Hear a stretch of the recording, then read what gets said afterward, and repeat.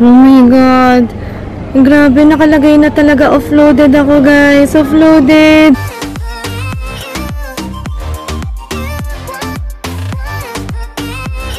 Hi guys, good morning. I am about to fly going to Manila and I'm only going to stay there for 5 days.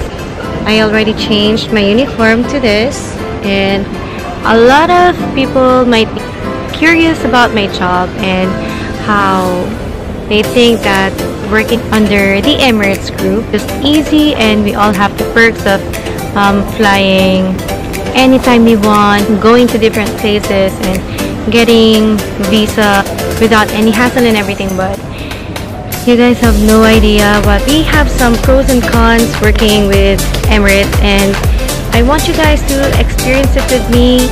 You know I love Emirates so much and I've been in this company for almost three years now and a lot of people assume that if you are traveling via staff travel it's all easy because of course our tickets are very cheap and you know we do have 90% um, discount when it comes to tickets. And for friends and relatives they also have discounts as well. So a lot of people think that it's very easy for the staff to travel but it's not.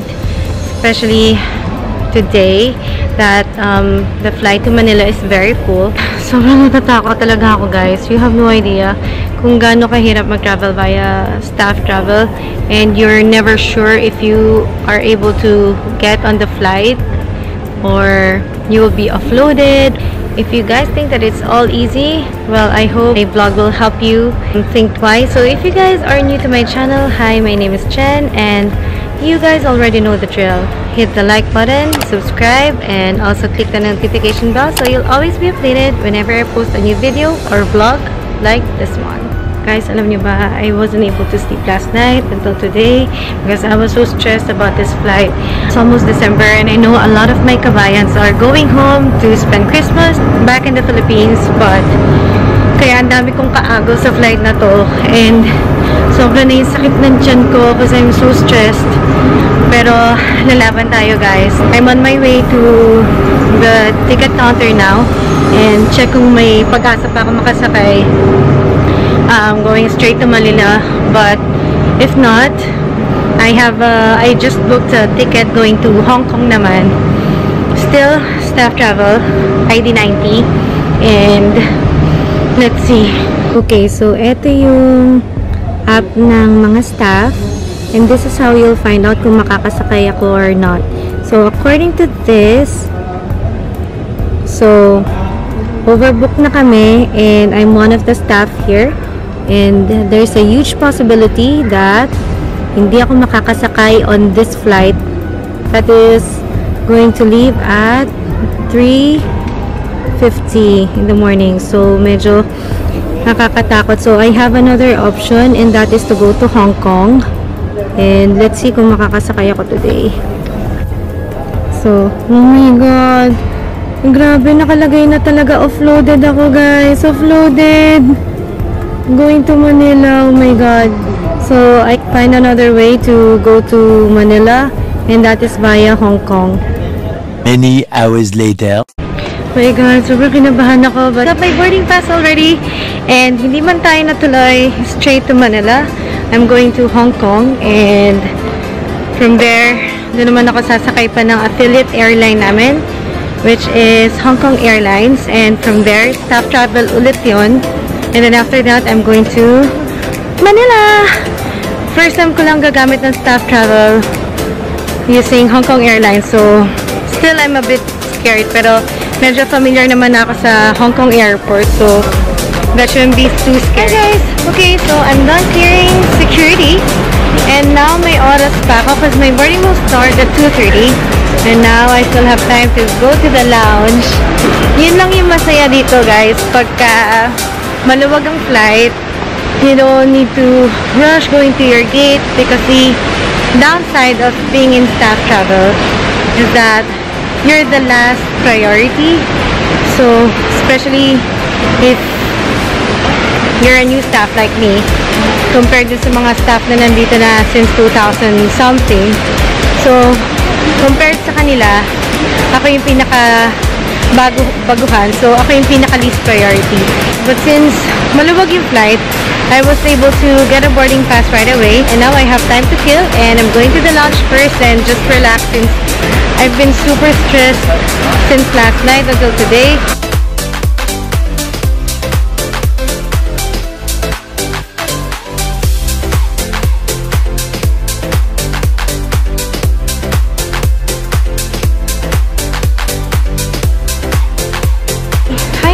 Okay, so I'm already here at the lounge, Marhaba Lounge, and I'm just having some gin and tonic, nuts, and some banana. For those of you guys who wanted to know more about staff travel, okay, for us, we do have ID90 and ID50. ID90, of course, 90% free, then 50, 50% free. And then we also have SRC tickets, yun yung mga parang pa-bonus ng company, travel tax lang yung kailangan bayaran and everything. So, for our friends, um, we they get Special tickets. which means it's a confirmed ticket. You get 50% off and your flight will be very very cheap and it's already a confirmed ticket. So unlike for us staff, um, if we get the ID90, yun yung mga standby and chances of offloading which is yun yung nangyari sa akin kanina. And alam niyo ba na kahit ID50 pa yung gamit ng staff, hindi pa rin kami confirmed tickets. Meaning, kung just in case na sobrang punong-puno ang flight and even if you paid half of the price for the ticket, kami pa rin ang pinaka-least priority. So, even if, for example, I bought ID50 going to Manila and I have a friend who is also traveling with Manila and is booked under me, so siya confirmed. Ako, waitlisted pa rin. So, kailangan ko pa rin mag-antay na lumuwag yung flight and kailangan ko pumunta ng 3 hours before my flight para lang magpalista sa check-in counter kasi unahan kayo ng mga ID50 on that flight. And mailagay ako as first come, first serve basis. So, okay. So, ito yung Dubai to Hong Kong ko. Ayan. So, good thing I was accepted on this flight. But for my Dubai to Manila, as you can see, I was uploaded. And since I'm a staff, I was 10 out of 11 na staff. So, obviously, uploaded. Kaya, buti na lang may friend Berna. Berna, if you see this video, I owe you so much. Siya talaga yung tumulong sa akin to decide kung since siya ang pinaka-traveler sa aming lahat, siya yung nagsabi sa akin to book another flight and she really helped me out para makapag-book ako ng ticket going to Hong Kong and from Hong Kong to Manila. So, Berna, if you see this, thank you so much. I owe you a big one. Bigyan na lang kitang pasalubong. Meanwhile, Guys, so amazing amazing na banana. Nag-message na sa akin yung Emirates. Kailangan na daw mag-board. Kasi 2.30 yung start ng boarding. And it's already 2.45. So, medyo nakalimot ako ng oras sa lounge. So now, it's time to go. Time to run! Here we go, guys. Hong Kong, I'm coming. Pinas, parents, family, friends, I love you all. See you soon!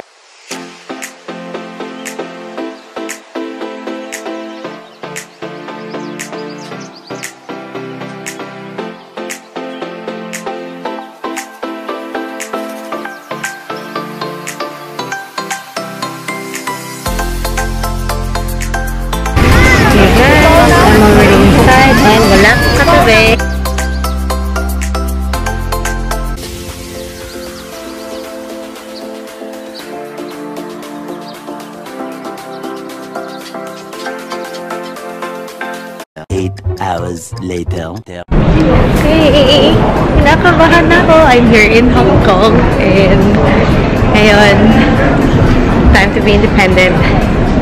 Kaya ko yan. I have five hours um, to kill here in Hong Kong. And now I'm about to get my luggage. We can do this! Oh. Okay, para sa mga traveler dyan. Sundan lang ang flow ng tao. okay, so that's what I'm gonna do right now. I'm going to immigration and collect my luggage. and then proceed to departures.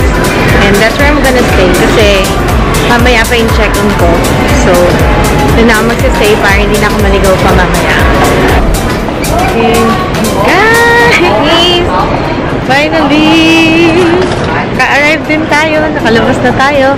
I'm already in Rivals Hall and now, time to find kung saan man yung dep- departure area.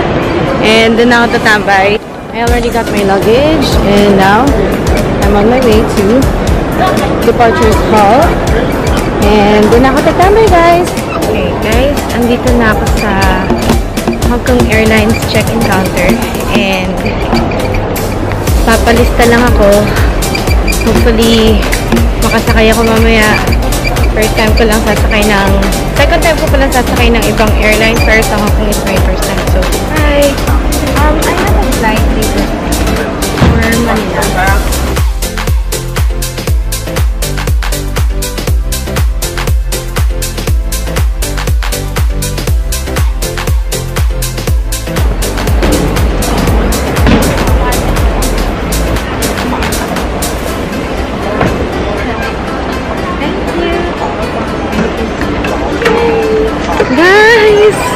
Yay! I got my boarding pass right away. Thank you, Lord. Okay, so everything is good. Everything is good. Okay, Mm, I'm so happy. Right now, boarding pass. And I got it already. It's here. And my boarding time will start at 8.05.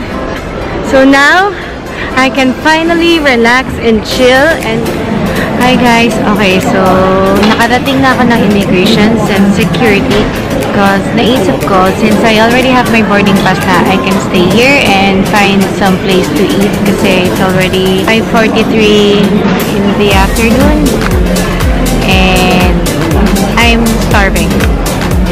Thing is, since it's too early, I still don't know which gate I'm going to. Hindi pa siya naka-display sa screen over there. There. Hindi pa siya naka-display. So, buti na lang, iba na talaga ang technology ngayon. I downloaded this app, Flight Right Here, My Flight, and nakakatuwa siya. You, parang interactive siya. So, you ask questions like this, ask me, ask me some questions. And I asked this app which flight I'm going to. Ang cute-cute niya. And uh, eto saga, where's my flight? Keme, keme, keme. And yun na, binigay niya na sa akin which gate I'm going to. To gate 217. So now I don't need to rush later on. I don't need to worry about where I'm going to.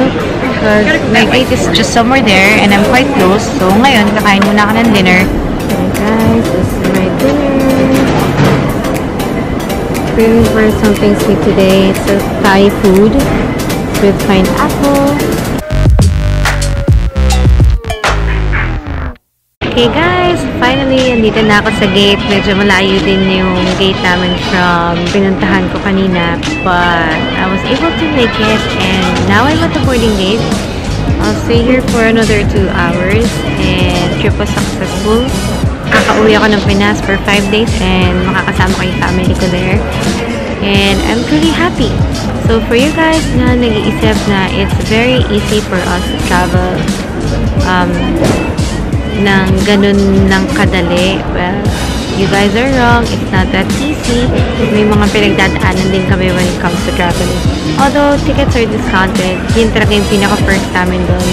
But everything has its pros and cons. So, I'm gonna end my vlog here. And if you guys have any questions for me, leave me some questions down in the comment section. And I'll see you guys on my next vlog. See you guys in Manila. Bye!